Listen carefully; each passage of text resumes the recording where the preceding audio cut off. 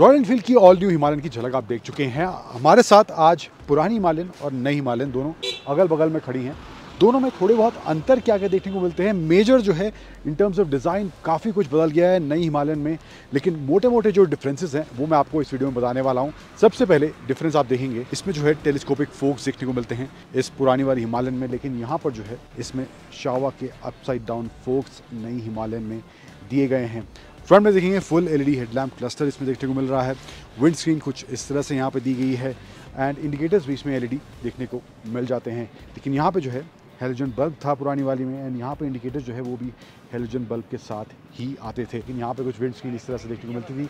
तो थोड़ा सा छोटा स्टैंडर्ड जो वर्जन है, थोड़ा सा छोटा साइज़ नई हिमालयन में in terms of windscreen देखने को मिल रहा है। साइड प्रोटेक्टर जो है देखेंगे टैंक प्रोटेक्टर कुछ इस तरह से डिज़ाइन था पहले रॉयल एनफील्ड की बैजिंग हालाँकि यहाँ भी पहले थी, लेकिन अब कुछ इस तरह से ये नया डिज़ाइन है एंड बैजिंग यहाँ भी है, लेकिन थोड़ा सा कलर पेंट स्कीम अब कुछ इस तरह से देखने को इधर मिल रही है।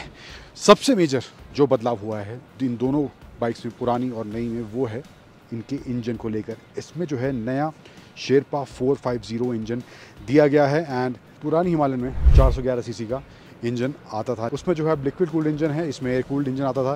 तो ये major differences in terms of engine इन दोनों बाइक्स में आप देखने को मिल रहा है। साइड का डिज़ाइन देखेंगे तो यहाँ पर हिमालयन की बड़ी सी बैजिंग देखने को मिल, मिलती थी पहले, लेकिन अब जो है यहाँ पे कुछ इस तरह से डिज़ाइन यहाँ पे दिया गया है। छोटा सा पैनल यहाँ दिया गया है एंड ये ग्राफिक्स का इस्तेमाल कुछ करा गया है। हर कलर में थोड़ा थोड़ा अलग आपको डिफरेंस इस नई इमारत में देखने को मिलेगा।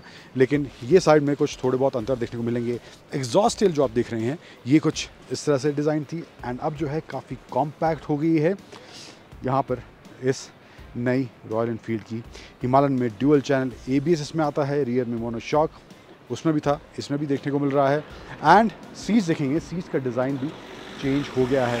पहले जो हिमालयन की ये सीट देख रहे हैं आप, थोड़ी सी ऊपर की तरफ़ उठी हुई थी specially for the pillion rider but यहाँ पे थोड़ा सा आपको फ्लैट सरफेस सीट का देखने को मिलेगा। बहुत ज़्यादा उठी हुई पहले के मुकाबले ये अब नहीं है। तो सीट थोड़ी वाइड भी हुई है, थोड़ा डिज़ाइन भी बदला है। तो मेजर चेंजेस यहाँ पर मोटे मोटे ये कुछ इन टर्म्स ऑफ़ सीट देखने को मिल रहे हैं। टैंक जो है, वो भी बिल्कुल बदल गया है। यहाँ पर देखेंगे आप, एकदम स्लीक से डिज़ाइन इसके टैंक का देख सकते हैं आप। लेकिन यहाँ पर जो है टैंक अब काफ़ी ज़्यादा बल्कि स्पेशली ये फ्रंट एंड जो है इसके दोनों साइड में, ये काफ़ी बल्कि देखने को मिलते हैं एंड टैंक का साइज़ भी जो है, वो पहले से थोड़ा बड़ा इसका हो गया है इस नई रॉयल इनफील्ड की हिमालयन के अंदर। एक और जो सबसे बड़ा बदलाव हुआ है, वो पीछे की तरफ़ है। इसमें आप देखेंगे, इसका जो टेल लाइट है, वो इसके इंडिकेटर्स में ही इंटीग्रेट अब कर दिया गया है। कुछ इस तरह से इसकी अब ये टेल लाइट और इंडिकेटर देखने को मिलते हैं, जबकि पहले हेलोजन बल्ब था रियर में जो टेल लाइट थी, वो अलग से देखने को मिलती थी। देन सबसे बड़ा, एक और जो बदलाव हुआ है लास्ट एंड फाइनल जो है, वो है इसके इंस्ट्रूमेंट क्लस्टर को लेके। यहाँ पे मामला बहुत कुछ in terms of instrument cluster देखने को मिल रहा है। अलग से स्पीडोमीटर का पैनल है, छोटा सा स्क्रीन यहाँ पे है देन टाकोमीटर है फ्यूल गेज टेम्परेचर वगैरह देन टर्न बटन नेविगेशन के लिए अलग से डिस्प्ले यहाँ पे दिया गया था। लेकिन अब जो है, सब कुछ ऑल इन वन हो गया है। यहाँ पे देखेंगे आप, कुछ इस तरह से अब इसका ये नया इंस्ट्रूमेंट क्लस्टर दिखता है। सभी कुछ अब इस फुल सर्कुलर जो स्क्रीन दी गई है इंटीग्रेट सब कुछ इसी में कर दिया गया है एंड नेविगेशन भी इसी में अब आपको देखने को मिल जाएगा इस नई रॉयल एनफील्ड की हिमालयन के अंदर। एंड इंस्ट्रूमेंट क्लस्टर के अलावा स्विच गेयर्स भी आपको देखेंगे। यहाँ पे कुछ पुरानी में इस तरह से देखने को मिलते थे।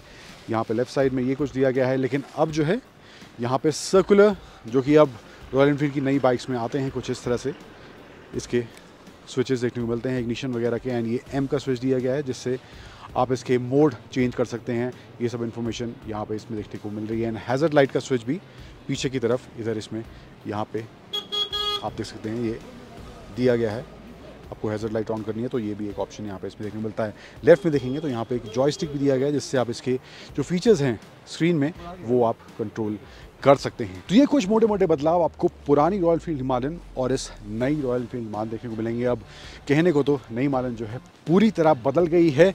What you think about old और new tell in the comment section video अच्छा लगा है तो like share and please follow करना मत भूलिएगा। Thank you for watching